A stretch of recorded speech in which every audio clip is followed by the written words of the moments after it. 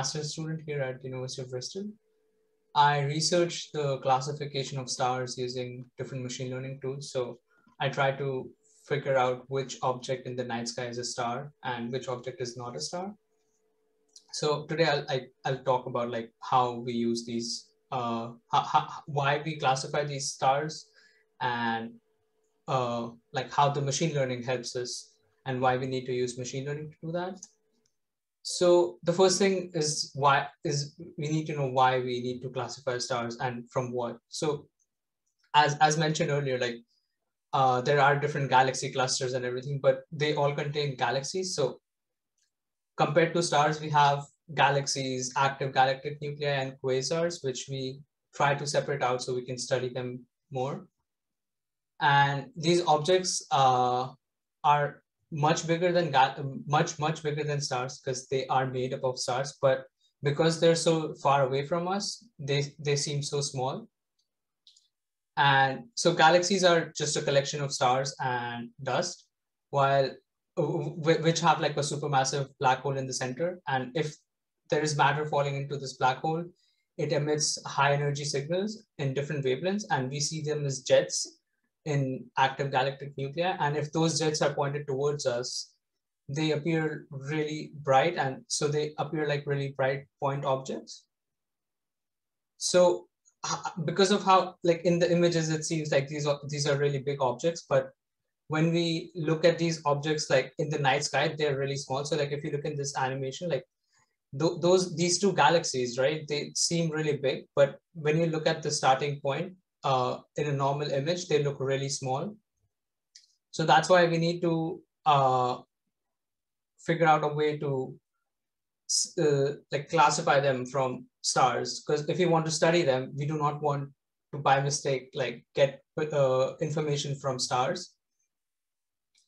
So when one of the tools we use to figure out uh, what object is a star versus which object is which is which is not a star, we you we, we we try to observe them in different filters. So these filters are kind of similar to how we have like uh, the the Instagram filters and mobile filters, where we just observe them in different way instead of like having uh red just just observing something in red blue or green we also observe them in different wavelengths and so like this is an example of the whirlpool galaxy where on the leftmost image, we see it in the normal visible spectrum. So like uh, how we would see it if we were nearby. And the uh, image on the right uh, also adds on the infrared colors, which we cannot see. And the image on the right of that is just the infrared colors. And the image on the uh, right of that is the image of Whirlpool Galaxy in ultraviolet. And these different images in like different bands, they convey different information. They, they provide us with different information. So the, informa uh, the image in infrared will tell us where the dust inside that galaxy is. And the image in ultraviolet would tell us where a lot of the new stars are forming. So we, we are able to get a lot of information out of these uh, images just if we take them in different bands. So that's how we try to study them and separate them out. And so each object, like we can photograph it in different filters. And as the as these filters uh, cover different part of the electromagnetic spectrum, and we, we can see how bright they are in different bands. And we can, so we can use that to reduce the information. And because we have so many so many stars and uh, non-star objects in the sky, we have to figure out an efficient way to classify these objects. And to do that, we are now exploring uh, machine learning methods. So machine learning is in basic terms, a way to teach a computer how to learn to solve a complex problem by itself. Like it just, uh, abuse, it's, you use mathematics to teach the computer to learn itself to solve the problem. And a simple form of uh, machine learning is called uh, is a neural network called feed forward perceptron. this works by emulating what scientists in the in the early uh, in the late 1900s thought like how a human brain worked so these neural networks are a collection of these so-called neurons which which perform simple mathematical operations so if, if we can we can uh, take an example of a single neuron here and if we have so this neuron would have two inputs the i0 and i1 and we would multiply these uh, two inputs with a weight W0 and W1 and just add them together with uh, another constant called bias. So it's just performing multiplication and addition on the input uh, input values we have, and we get an output. So these linear operations on the input values will give us a completely different output and we can change these weights and biases to get a different output based on the different inputs. So a usual feed-forward uh, perceptron model will contain a lot of these neurons stacked on top of each other. So if we take the brightness of the objects we observe in the different bands and use them as inputs, we can uh, we can be we can generate a completely different output. And so if we, if we, uh, in this example, so this is just an example of a feed forward neural network we use for classifying stars. So in this, we just have the input um, brightness of the different objects of the object in different bands. And then we just pass it forward through the neural network. So we individually take the inputs and then multiply them by the weights and add the bias for each of these circles. And we do that repeatedly. And then we do some processing, some, some processing in the middle, and then we continue doing this step.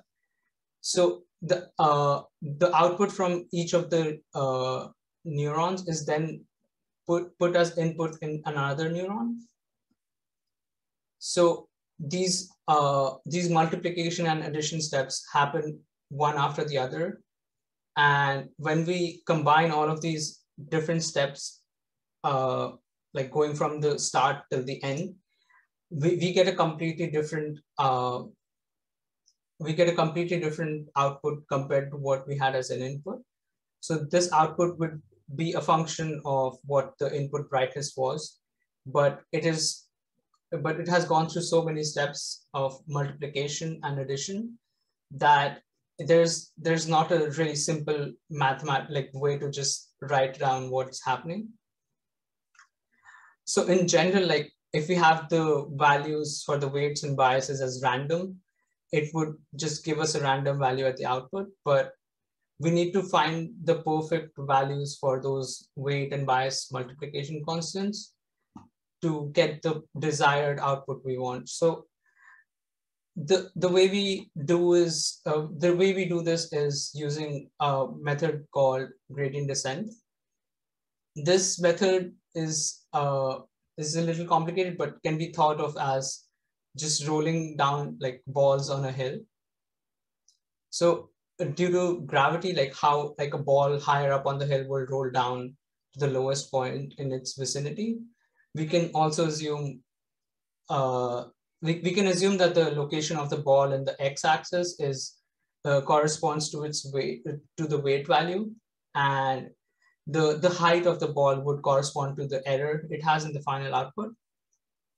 So if we start at a, a point and let the ball roll down it'll change the we'll get a different weight value for and, and a different error value. So in this case the the ball would roll down to a point over here and in this case, the ball will roll down to a point over here. And if you look at it, the, the two heights of the uh, hills are, uh, uh, the two heights of the balls in the end would be different and we'll get a different error. And we, we know that like this would be the best, uh, best location for the ball to land because that will be the lowest. But it's not always, uh, we can't always see the, the location of the lowest point in the for, for all the weight values because like the uh, the network I showed earlier, this this network would have 10,000 of these uh, different balls rolling down at the same time.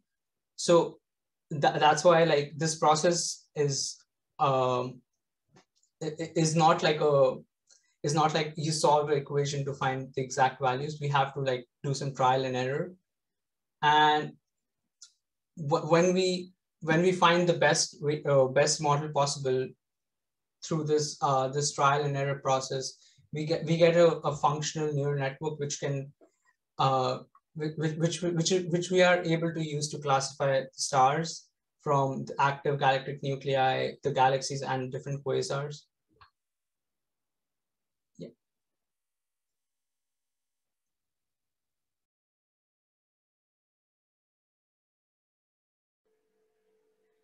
So, I mean, you talked a lot about different neurons, which I'm assuming each one of those is like a small piece of calculation. Is that right? Yeah. So what would be a sort of an example of a calculation you might want to do on the readouts from your telescope or whatever you're using? Uh, so normally what we have is, uh, I can show this better. So when we have, um, uh, so like in this case, we have like different bands which observe the same objects in uh, the same objects in different bands. So we get like a different, uh, so if we have like the object is, how, depending on how bright it is in different wavelength regions, yeah, we'll get, we'll get different values and we can use those different values in different bands. So like if we have, if you look at this object, right, the Whirlpool galaxy, it is, uh, it would appear really bright in the infrared compared to the UV. Mm-hmm so we can uh, use those different uh, like differences in brightness as the inputs. Okay. And when we multiply those inputs with some constants, which we try to optimize for later on, we'll get a different output. And those outputs when chained together would, would, would end up giving us a classification. Okay, so your your sort of your equation would be sort of like finding out sort of the intensity of a particular wavelength in the electromagnetic spectrum and putting together what the most likely wavelengths are for different types of objects. And then sort of like working out which one it's likely to be based on the different intensities and the different wavelengths. Is that right? Yes yes. Okay that makes sense. Thank you